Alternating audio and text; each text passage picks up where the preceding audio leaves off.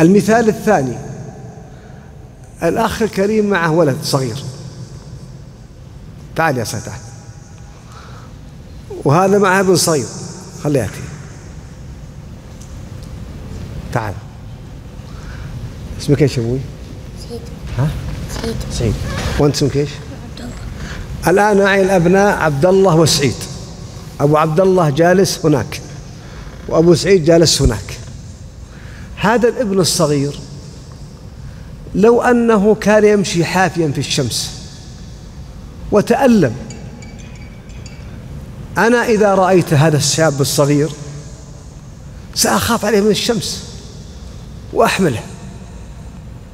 لو كان بردان تعال يا سعيد تعال يا عبد الله. عن التكييف خوف عليه. بس خوفي أنا مهما بلغت في الشفقة ليس كخوف عبد الله أبو سعيد ليس كخوف اسمه كريم. تيمور. وليس كخوف تيمور على ابن عبد الله لأن رحمتي لهم مهما كانت أقل من رحمة من يقرب لهم لو جاء عم عبد الله أو عم سعيد وعم عبد الله فرحمة عم عبد الله وعم سعيد أشد من رحمتي وأكثر بحكم القرابة عموما. لو جاء عبد الله وجاء تيمور لا مقارنة ولا مقاربة بين رحمة الوالدين الوالد ورحمة غير الوالد. رأى النبي عليه الصلاة والسلام امرأة تضم صبيا لها. في السبي فقال لأصحابه هل ترون هذه المرأة طارحة ولدها في النار؟ قالوا معاذ الله. وهي تقدر على أن لا تفعل. كيف تطرح ابنها في النار؟ كيف يرضى سعيد؟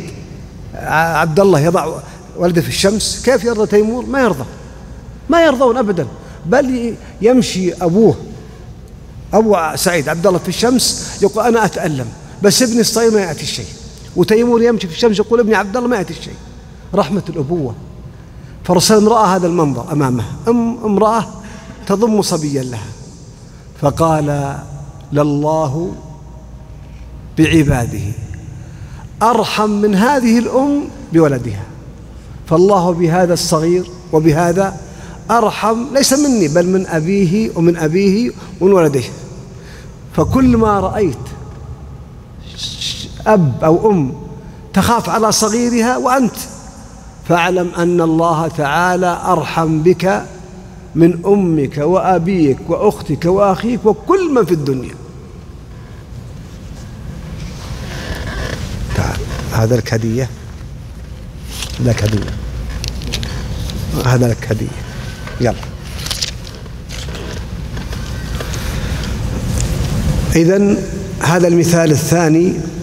رحمة رب العالمين بعباده.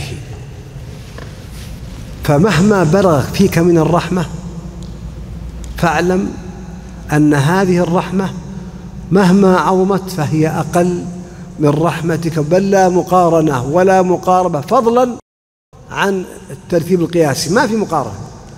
لله بعباده أرحم من هذه بولده كم نرى في حياتنا؟ لكن ننظر بعين البصر.